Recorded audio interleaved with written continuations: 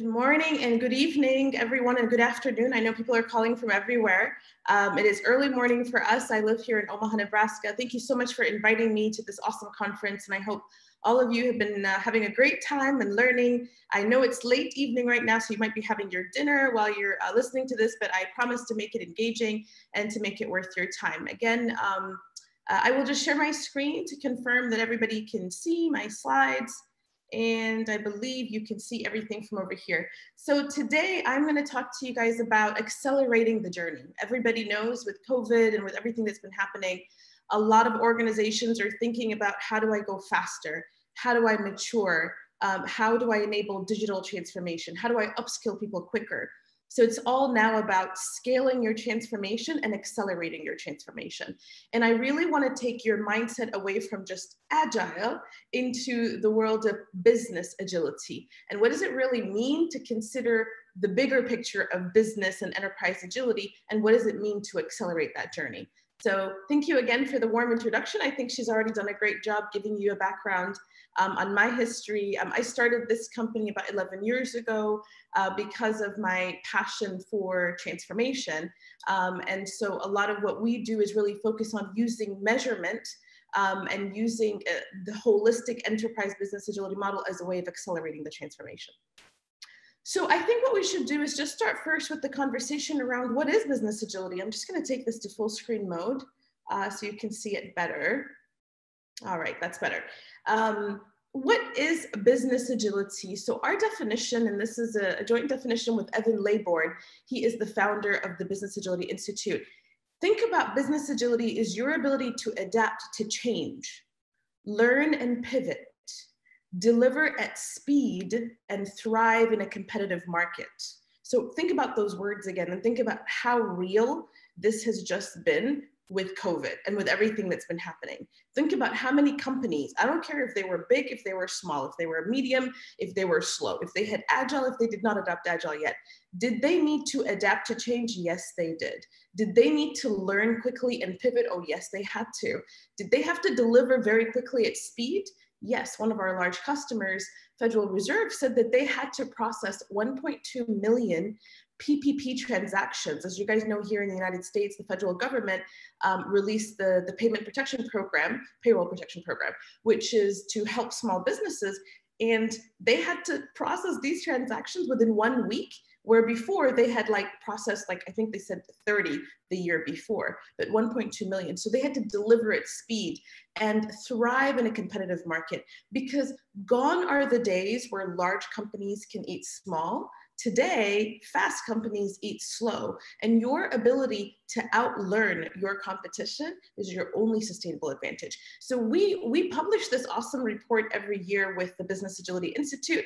They use Agility Health, platform, and I welcome you to take this presentation, download it, and share this with your executive team, which is what are the latest statistics and what are the benefits of adopting business agility, not just agile, you guys. I think we as an industry need to move away from just thinking about the methods and the tools. Those are all great. We need DevOps, we need SAFe, we need Agile, we need Scrum, we need Kanban, XP, yes. But at the end of the day, we need to enable the business to be successful, to be competitive, to deliver fast enough. So I just wanted to make sure we kind of looked at that. So now I'm going to play a kind of a short video for you that talks about what are some of the patterns and challenges that we see in organizations today and how can they think differently um, as they begin a business agility journey, right? So I'm going to go over here. Hopefully you guys can, okay, it's right here. And let me open it bigger. Play.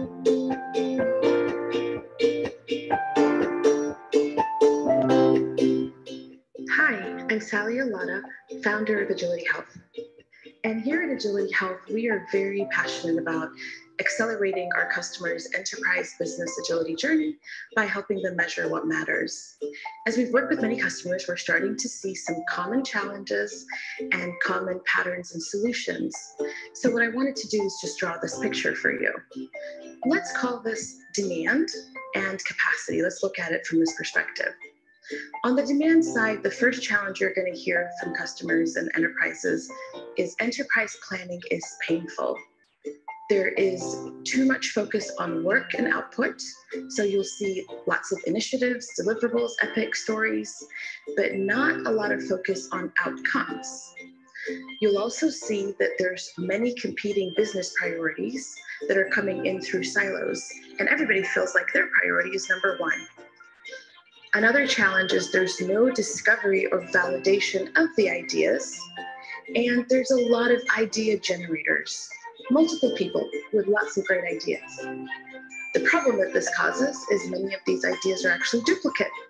So you could have Joe and Adam and Jamie over here all asking for the same thing, uh, but in different ways. As you go down through this funnel, you're going to realize that teams are not designed to optimize the flow of value. Teams today are all organized based on who reports to who. And so, in order for you to get anything done, there's a lot of bottlenecks, there's a lot of shared service teams that um, are really over capacity, and there's a lot of handoffs and dependencies between them. As you come closer to the actual teams that get the work done, what you're going to see is they're overwhelmed. Teams are burning out. They will tell you they're buried in never ending backlogs. The good news is by using Agile, we've started to organize our work a little bit better. So we have backlogs and we have cadences and we plan well, but it's still never ending. Teams have no time to be creative or to solve problems the right way.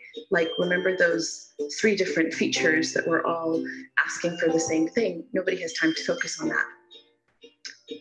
So, this is a summary of some of the problems that we're seeing.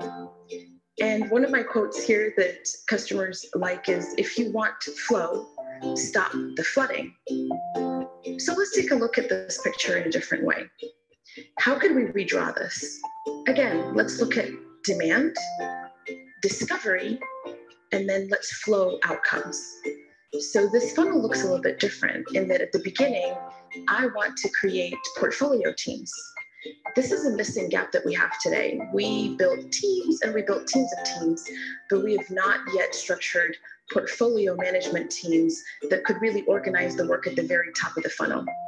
Portfolio teams really should be planning based on outcomes. What are my three year outcomes? What are my one year outcomes? And what are my quarterly outcomes? Those one year outcomes will map to your initiatives and your epics, and those quarterly outcomes will map to your deliverables or your features. Make sure that these outcomes, as they come into this funnel, are going through discovery. The purpose of discovery is to validate your ideas before you invest a lot in actually delivering them. Are these ideas valuable? Are they feasible? Are they usable? Another way to think about the value of discovery is can we test something? We call it test it, nail it before we scale it. Test it, nail it, scale it. Some cool techniques for doing discovery would be following the Mobius loop by doing discovery and then delivery, or even leveraging things like the five day sprint, or just building some fun mock ups and showing them to customers quickly and getting very rapid feedback so that you can begin to experiment before you actually build. Now let's come into the teams. How do I want to organize and design my teams? I want to organize my teams so they can flow outcomes. So whether they're business teams or technology teams, whether they're product or engineering teams, and regardless of their reporting structure, we want to organize teams together in a virtual way so they can enable the flow of outcomes. To support this system that is designed to flow outcomes at the very top, we need leadership agility. We need to shift from the very directive style that we have today um, into more of enabling autonomy and delegating decisions down. We need to also invest in developing talent because through this journey, you're going to see there's a lot of new roles that are going to be created and a lot of roles that are today will need to shift, including the role of leaders. So developing talent and investing in growing our skills is another critical enabler. And when you enable the flow of outcomes across your enterprise, you will arrive at true business agility where you are disrupting before you are disrupted. You become a learning organization and you can thrive in a competitive market. Thank you for watching. All right, well, I hope you enjoyed that video. Um, that's also available on our website and there's a link from it over here. But my objective, um, did I turn on my video again? I think I am back. Yes, I am. Okay, so the, the main objective here that I really wanted to share with you is this is a journey. Um, and the journey really goes through a lot of different phases or um, let me just call them gears. I don't want to use the word phase because it doesn't have to be sequential. So let's explore this journey. When organizations are thinking about adopting um, business agility or even transforming themselves, let's even forget about the words here. The first thing that they consider and think about is team agility, um, which is usually I want to bring in Scrum, I want to bring in Kanban, I want to create cross-functional teams, I want to make them stable, um, I want to make sure those teams have the right agile tools, Jira, Rally, version one. I want to make sure they learn you know, practices for technical agility. That's called team agility, right? That's kind of the foundation of making sure that teams can operate. And so what we recommend that you do and what Agility Health does is help you measure the health of those teams. Remember, I didn't, I didn't even just say agile maturity. It's are they healthy? Are those teams healthy? Whether they're business teams or technology teams, are they performing? Um, enable self-learning for those teams because with um, this transformation you're not going to have enough coaches to go sit with every single team and help them. So you have to really create a model for acceleration where teams can help themselves grow and actually focus on talent development. For many years our focus has been on agile adoption or SAFe adoption or devops adoption. I think now we really need to shift into growing the individuals and the talent and the skill set that's within the team the focus then begins to shift one layer above the team, which is what we call team of team agility. And team of team agility is how do I get 10, 20, 30, 40 teams to work together well? Well, that's where scaling comes in. And obviously the most popular method is um, scaled, agile, and SAFe. And there's other methods out there. But how do I plan at scale? How do I have five to eight to 10 teams, you know, operate and deliver on a common PI schedule? Um, how do I plan together, execute, manage dependencies, or as we say, eliminate dependencies? DevOps really becomes important over here because DevOps is all about making sure that there's a continuously delivered pipeline with full automation and that multiple teams can, can actually deliver together. And we also have over here leadership and culture because the role of the manager is really disrupted in Agile. And you begin to think differently about what do managers do today. If you don't want them to micromanage anymore, you don't want them telling people what to do every day, then what is the new role of managers?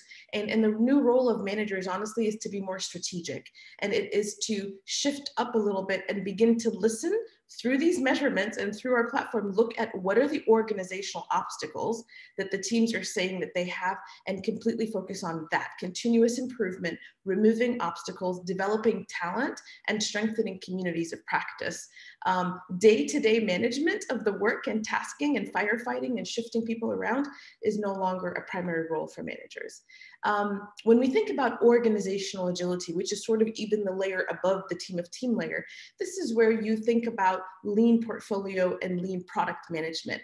Um, if you guys are familiar with portfolio management and lean portfolio management is us shifting away from constantly planning based on output and beginning to think about outcomes and OKRs and breaking the work down into yes, I have yearly objectives and initiatives, but I need to have yearly outcomes and I need to have quarterly outcomes, and the work needs to align to that.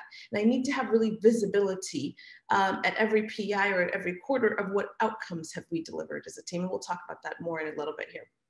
Value stream structure of product management. Uh, if you remember in this video that I just showed you, we talked about discover before you deliver. And so a lot of that product discovery, um, design thinking, uh, making sure you have a roadmap, you have actually a product uh, mentality, not a project mentality, all of that is there too. And value stream structure is organizing our team so they can flow outcomes instead of just the who reports to who. Fine, keep that, keep the, the physical structure, but move teams together and make them work together, business teams or technology teams to deliver outcomes. And of course, the biggest movement right now is around digital maturity and digital transformation as well.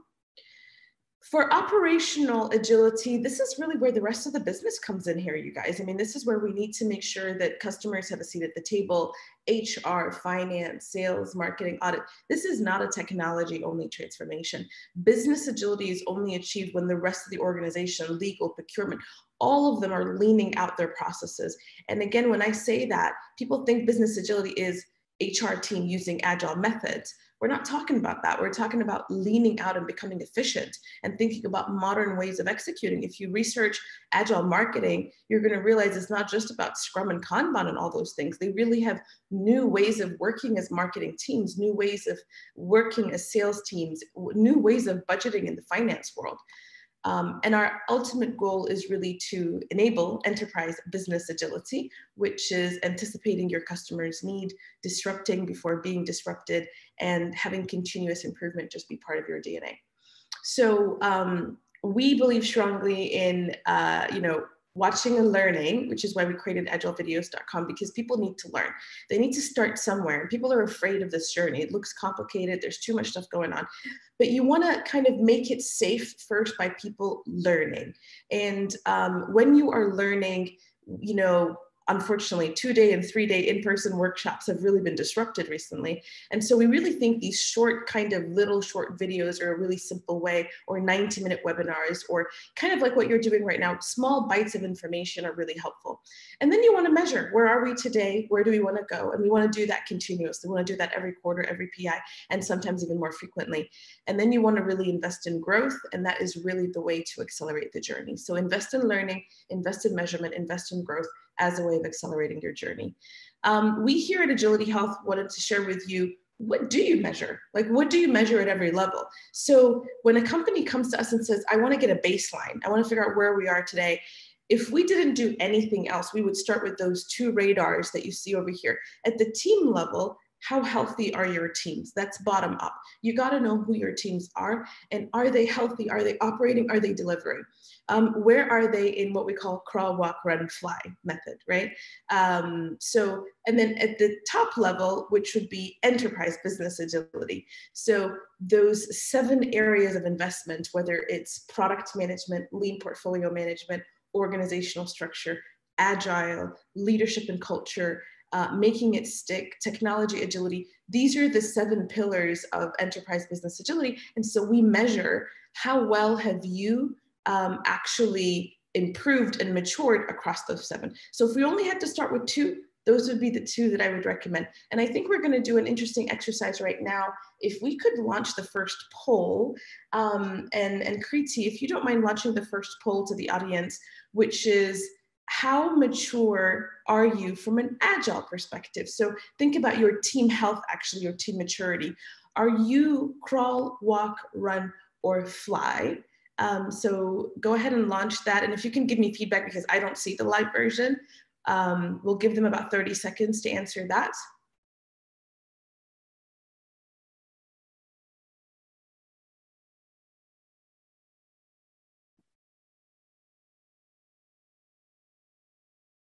Okay, first poll has been launched.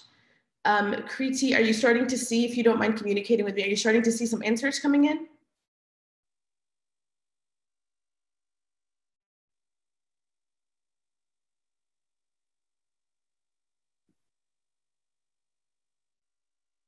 I'm assuming there are some answers. I can't hear you, Kriti.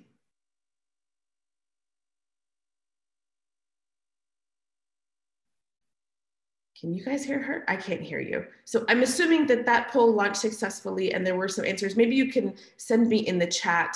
Um, but that's basically the agile maturity of how well are we doing from an agile perspective, crawl, walk, run, fly. Um, the next one that we're going to launch is across the enterprise business agility, across the that whole journey that I showed you, team agility, team of team agility, um, organizational agility and finally enterprise business agility, how would you rate your maturity there? So um, Kriti, if you don't mind launching that second poll now, so we can, and then take a picture of the first poll because I want to see how people respond. And I can't hear you, unfortunately. I'm sorry, can you hear me now, Sally? Yes, I can hear you now, yes. Right. Okay, so for the first poll, uh, let me tell you, uh, about 50% people say that they walk, 22% uh, are at crawl, 31% are at run, and no one is at fly. No one is at fly. That's very no. good. 50, 50 at walk. How many at crawl again? Um, 24%. Okay, so you guys, this is really good. So think about that. 24% are crawling, which means that we're getting started on the journey, but at least most of the other numbers, 50 and 31%, which is 80% of us, are either in the walk or in the run state in terms of investing in agile and basic agile maturity. Now, let's run this with the EBA, with the enterprise business agility, and let's launch that and begin to see the results there. And how many respondents do we have? Um, I can't see the number of responses, but I can tell you the results for the second poll. So about 50% are at walk delivering and 13% are at crawl, 36% are at uh, run, and uh, again, no one at fly. Okay. All right. Got it. So did you say 13 at crawl? One, three, yes. Okay, great. So there's 13% of us that are crawling um, this is really good numbers. It's actually very similar. So 56% at a walk, and what that probably means, and that's a big number, it means half of us, if not 60%, are on that journey. We're investing in DevOps, we're investing in product management, we've brought in outcome-based planning, but we're still not proficient. We're still not in the optimizing stage of that. So that's really, really great. And those are the two, like if you only had to start you know, figuring out my team agility and figuring out my enterprise business agility, top down, bottom up, that's where I would start.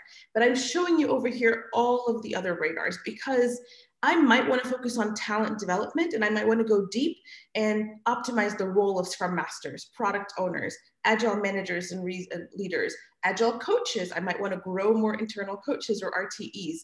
Um, at the team of team level, I might want to improve product management. I might want to really assess my DevOps or DevSecOps across all of my team of team layer. I might want to use some of our new scaled agile and SAFe radars that we have. Um, so there's a lot of different things that you can't. Digital transformations are newest assessment, newest radar, and that would be at the enterprise level, at the portfolio level. How well are we adopting digital technologies, right? Whether it's RPA or or AI or machine learning, how well have we actually invested in some of that, um, and just thought about digital transformation holistically. So there's a lot of things to measure, but hopefully you kind of understand where to start with.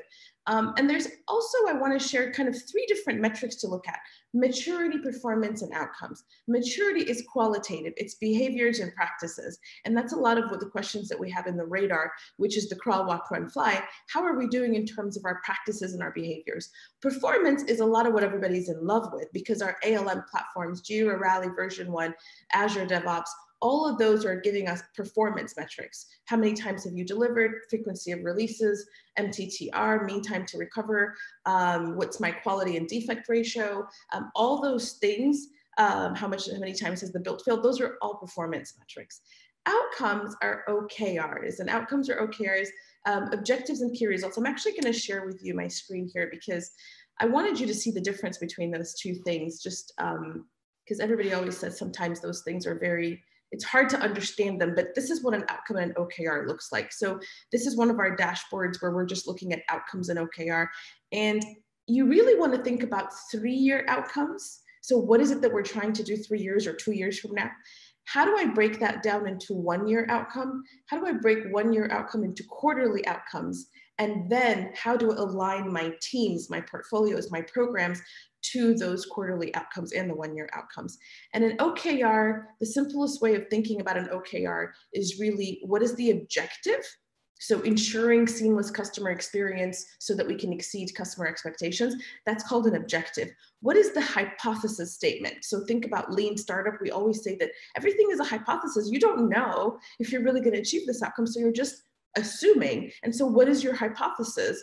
And so we always start the hypothesis statement with, we believe that by doing XYZ for XYZ persona, we will achieve ABC. Um, and then we say measured by, and then here are business outcome related metrics that we can track against. So um, yes, we want to look at um, performance and maturity, which is very important, but we also want to look at outcomes. Um, and so I just wanted to share this with you over here. Um, and give me a second, I just want to refresh over here and also help you see the other ones on the other side as well.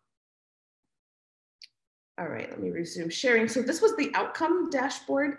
Um, and the main objective from the outcomes dashboard is to answer that kind of that third metric. But if I click over here and go to insights, um, what I want to look at is maturity and performance. So again, at any level of the organization, whatever portfolio, whatever program, whatever product line, I want to see what's my overall agility. And agility for us is the combination of qualitative and, and quantitative metrics. Qualitative metrics, which is maturity, it's all about culture, leadership, foundation, clarity. You know, how are my teams doing and are they getting better over time or not? And then performance are what we call quantitative metrics. So that is like your deployment frequency, your time, your lead time to change, your feature throughput, your cycle time. All of this data means nothing if you're not going to take action, if you're not going to do something about it. So one of my friends and, and, and colleagues and really respected in the industry, his name is, um, um, uh, and of course I just forgot his name right now, Larry Maccherone and Troy Magennis, Both of them have taught me something awesome which is when you're building a dashboard, you want it to answer the questions of what is the data telling me? So what? Is it good or is it bad? Now what? Now what do I do? Which is why we also have here the organizational growth items. What is it that we can do to improve? What are what did the teams ask for? What are the areas that, of improvement? Um, and this is basically how you accelerate. You want to make sure that your teams are growing, your managers and your coaches have a backlog of improvement and your executives also have a backlog of improvement.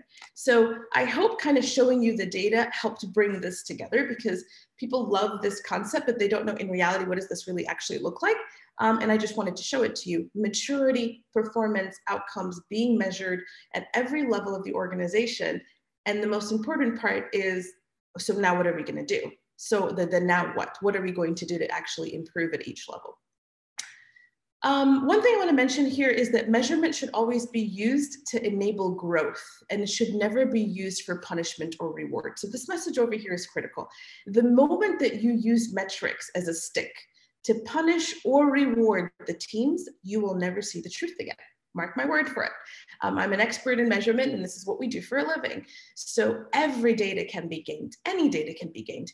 And the quality of data that we have in Agility Health, I would say it's a testament to making the team safe, making sure that they can actually do these exercises of assessing themselves and growing without any repercussions. If you immediately fire the team that has the lowest scores, well, then all teams will show you high scores, whether it's any of those things. So please make sure that everything that we're talking about is not used to punish or reward or even to give a promotion to the management. So even the managers don't promote them or give them a bonus or fire a manager if their teams, because the moment that you do that, then they will become even more command and control and have specific targets and make sure that the teams achieve these targets. So um, just be very careful on how you use metrics. Um, if any of you are passionate about lean, and you guys know obviously agile really i can i always say like agile and lean got married. Um, they really kind of complement each other. Lean has something called DMAIC um, and DMAIC is really awesome because i feel like that's exactly what we do here at agility health which is define what does good look like? What does crawl walk run fly look like um, in any of these areas, whether it's team health or DevOps or digital or Scrum Master, those radars that you see is just our way of visualizing with you what does good look like. Measure, which is get a baseline. Where are we at today? How are we doing today, right? Um, and we should get the baseline across all of the three metrics. Roll up the data and analyze. So now I want to roll up across five, six, seven, ten teams or I want to roll up across hundreds of teams and see what are the patterns, what are we starting to see that's common across all of them, and then build an improvement plan. Build an improvement plan for the teams and for the organizations on where is it that they can improve. So this is the team health radar. This is the most popular one. Um, and what is it that we measure at the team level? Clarity. Does this team have clarity on their vision and purpose, their plans and their role? Performance. Um, first of all, do they have confidence? And do we as the product owner stakeholders have confidence in this team performing? But also have they shown me predictability time to market value quality responsiveness to change? Are they actually performing? Leadership. How is the scrum master? How's the tech lead? How's the product owner doing? And how are the managers doing to support this team? Culture. Are those teams happy? Do they trust and respect each other? Are they allowed to be creative and innovative? Um, do they collaborate well Foundation is all of the foundation of agility. Are they structured correctly? Is it the right size and skill? Do they have the basic agile practices in place, the right ceremonies? This is what we um, cover when we're saying measure the health of a team. Um, and one of the things, the approach that we take is facilitated retrospective. We call them measure and grow retrospective. Um, we created this honestly, you know, I don't know, maybe like six years ago, five years ago now. Um, and it's honestly becoming a standard right now. Even Scaled Agile has adopted this concept of facilitated retrospectives for their measurement and grow release um, recently, which is that you don't just send a survey to people, right? That's kind of old school. Old school is we send everybody hundreds of surveys and then we, we, the top people, collect the data, analyze it, and then tell them what they should do to improve. Um, really, the most modern way of continuous improvement is that you engage the team itself. You, um, yes, you launch the, the, the, the assessment, but the team members are answering the questions. They're really learning, learning from it, crawl, walk, run, fly. They are seeing the results in real time they're reviewing and analyzing and having real open honest conversations about how they're doing. And then they themselves are building the growth plan. And instead of this taking two weeks you know to do this whole thing we now basically put it into a three hour um, or half day session once a quarter. So once every PI. If you are using Scaled Agile, then we recommend that you do this during the inspect and the adapt, the I&A, and Scaled Agile does as well. If you're not using SAFe and using any other method, then I'm sure you're at least planning quarterly. Then it would be at the end of every quarter to pause and do these retrospectives. In between, we have something called the pulse check. And so pulsing is only sending three to five questions that are important during each retrospective. So I'm assuming that all of you following Agile have two week retrospectives, and that's where you can do more of the pulse check. The other thing that I want to share with you here is the growth portal. And the growth portal is important because part of when the team assesses themselves, remember how we talked about we really want to make sure that when teams assess themselves, they can improve, they themselves can improve. So you need to make sure, like, let's say one of these areas was stability and allocation, and the team does not feel good about how they're doing from a stability perspective. The growth portal gives you the ability to think about what does healthy look like, what does unhealthy look like. Give the team real recommendations. So what do you recommend that they do for the next quarter to improve? What are some videos that they can watch related to that? What are some articles? What are some training? And so again, this is a mock-up over here, but who are the internal coaches and who are the internal mentors that can actually help them? So instead of these massive wikis where people don't even know where to start, what I'm suggesting here is that you tie knowledge, you tie recommendations, you tie the coaching and the mentors to the specific competency itself so that when the team looks at the results of that radar they understand um, where is it that they're they're needing support they click on the growth portal that is where they find support and that is what we mean by teams are able to help themselves grow um, we've already talked about this, which is rolling up the data. As you can see over here in this roll up view, you know, we've got a problem on the product owner side. We need to probably invest in training and development.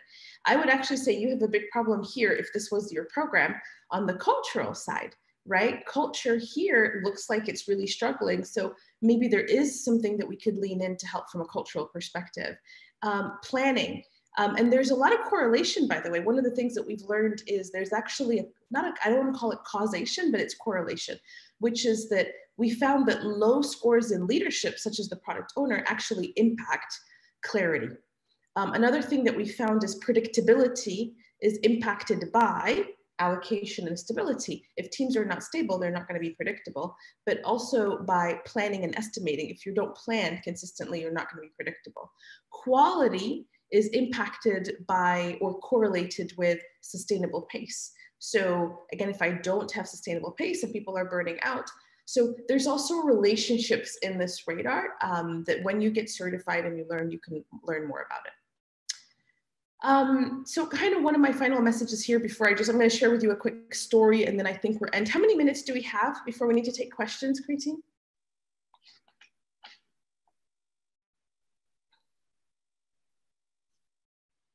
think we have about 10, is that right? Uh, yeah, you have about 10 minutes, Sally. So, I mean, the, the session ends within 45 minutes. And if you don't have enough time within the session, then uh, you can take the questions in the net networking lounge also. That's also. Okay, and I can, I'm, I'll, I'll jump over to the networking lounge to answer any more questions. I do want to give you the case study because I think the case study is important, but it's good to know that I've got 10 minutes. So um, continuous improvement. Uh, in order for this to really work, you want the teams to be doing these, you know, measure and grow, investing in measure and grow retrospectives that are facilitated, identify growth items help themselves improve, but that you, you want them to identify any organizational obstacles that their managers can help them with. And then the managers and the coaches, which is at the team of team level, they also invest in measure and grow. They work on the organizational growth items, but they identify any enterprise growth items that are beyond their control. And then at the enterprise level, your senior leaders and executives they are committed to removing enterprise obstacles. And of course, then they got to go to the big boss to solve anything that they cannot manage. So this is what we say, you know, if you want to align teams and achieve outcomes, you need to listen to their voice and remove obstacles. It's a two-way street. I want my teams to deliver outcomes.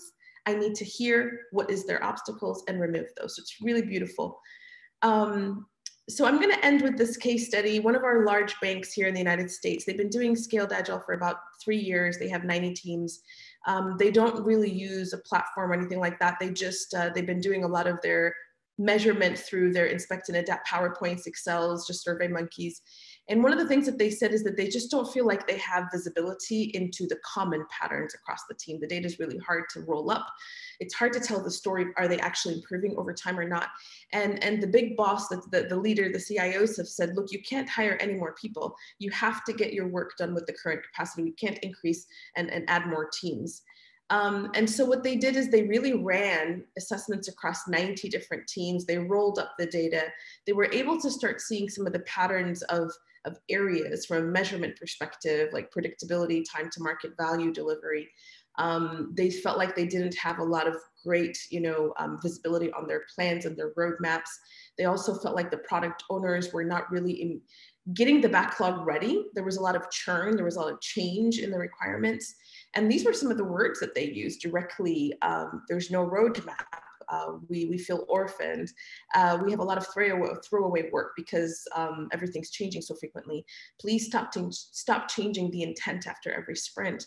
Um, how can we plan ahead? Like, can you please give us one to three sprints worth of stories ready? A lot of it started to point towards the same problems. And so what they did is they realized, okay, look, these are the five areas where we're the lowest, and we're going to have to do something about them. Monthly release planning vision and purpose, quarterly road mapping, predictable delivery, and impediment management. Those were areas that from the data, they can see that these are the areas of improvement. Um, they identified 900 growth items. 386 of them were not at the team level, they were for the management level. Um, and I'm very proud of this team because they did a lot of great qualitative and quantitative analysis.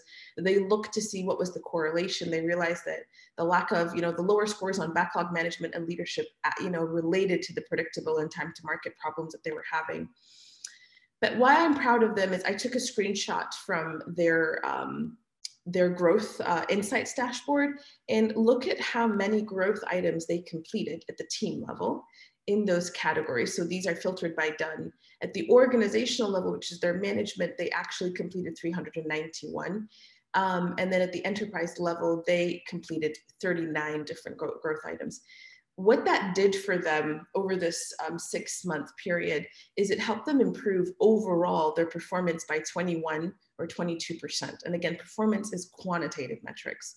Uh, maturity is qualitative. And so overall, their overall agility improved. But the most important thing that they said in terms of what's happened to the culture is that they are much more predictable. They said that they're not churning as much. They're not just waiting and waiting and changing. They felt like the teams finally understand the value of the work that they're delivering and that they understand what are the outcomes and how is my work aligned to the strategy. And the big number here was that the epics or the features that they delivered within 30 days increased by 267%. So they really measured, obviously, the baseline and they measured the improvement.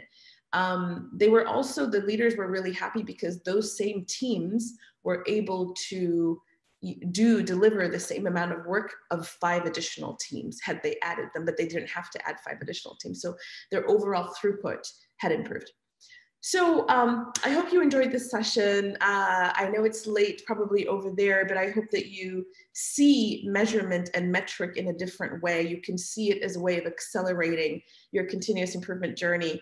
I have three different things here for you to do. If you are new to business agility or to this whole journey, we have a whole new course now called Business Agility on agilevideos.com. Feel free to register um, you can use the transform 14 promo code and you'll have 14 day free access. If you guys are interested in leveraging the library for your company please reach out to us. If you want to get certified if you really like what you're hearing and you want to become a certified facilitator please check out our schedule. All of our courses um, for facilitation now are on demand. On demand meaning that you can do it whenever you want to at night in the morning. You can come to the the virtual ones that we have the live ones but they're all e-learning so you can actually get certified on your own um, uh, just through the website itself and then you can book an agility health demo. That's all for me. Um, thank you so much. I really hope that you enjoyed this